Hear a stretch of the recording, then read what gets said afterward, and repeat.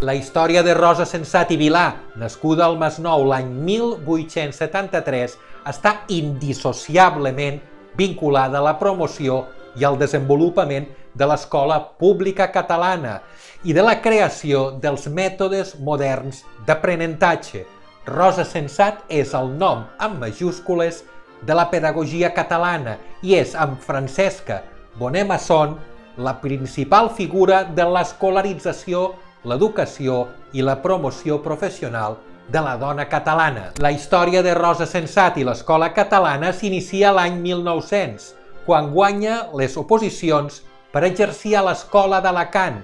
però és a partir de 1903, quan inicia la seva etapa professional a l'antiga vila de Sant Martí de Provençals, que posa la primera pedra de la que serà la seva gran obra educativa, durant anys va visitar les escoles més innovadores d'Europa i va importar a Catalunya i adaptar els seus mètodes. Una de les principals aportacions seria l'escola del bosc, que esdevindria un model d'educació activa on, segons paraules de la mestra, el joc i el treball eren el més eficaç agent d'educació. L'escola del bosc seria el gran projecte de l'escola catalana moderna, que tenia l'objectiu de portar a terme una profunda transformació moral, social i cultural de la societat catalana per mitjà de l'educació. Rosa Sensat va promoure i va formar part de les primeres grans associacions docents catalanes,